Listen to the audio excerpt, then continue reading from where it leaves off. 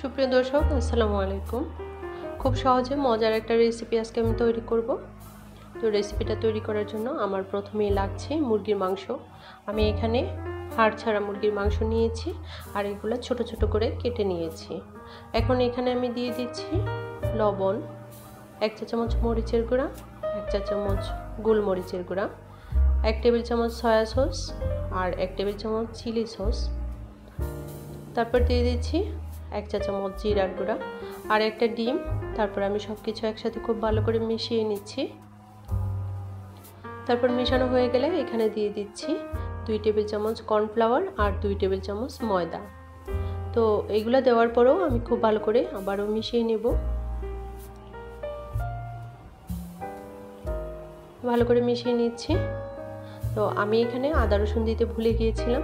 তো এখন আমি এক টেবিল চামচ আদা, রসুন বাটা দিয়ে দিচ্ছি। তারপর মেরিনেট করে আমি রেখে দেব ত্রিশ মিনিট। ত্রিশ মিনিট পর আমি কড়াইতে তেল দিয়ে মাংসগুলো খুব ভালো করে ভেজে নেব। উল্টে পাল্টে দুই পাশে আমি বাদামি করে সুন্দর করে ভেজে তারপর তুলে নেব।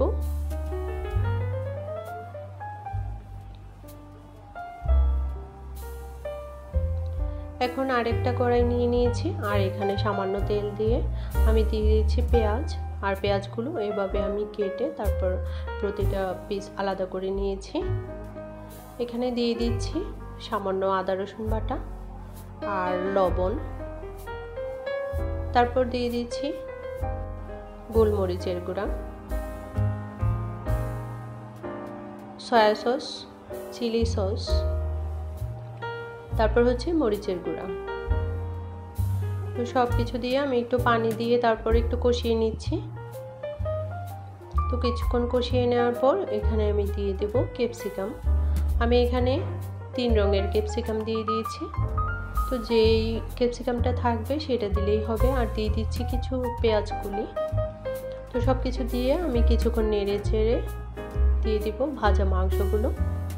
মাংসগুলো আমি মশলার সাথে সব কিছুর সাথে একটু ভালো করে কষিয়ে নিচ্ছি। তো কিছুক্ষণ কষিয়ে নেওয়ার পর এখানে আমি এক কাপের মতো পানি দিব। খুব বেশি পানি দেওয়ার দরকার নেই, অল্প সময়েই রান্নাটা হয়ে যায়।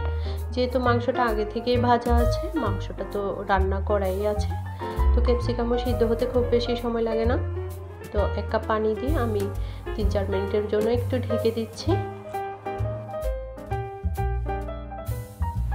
তিন চার মিনিট পর আমি ঢাকনা খুলে এখানে দুই টেবিল চামচ কর্নফ্লাওয়ার পানিতে গুলিয়ে নিয়েছি।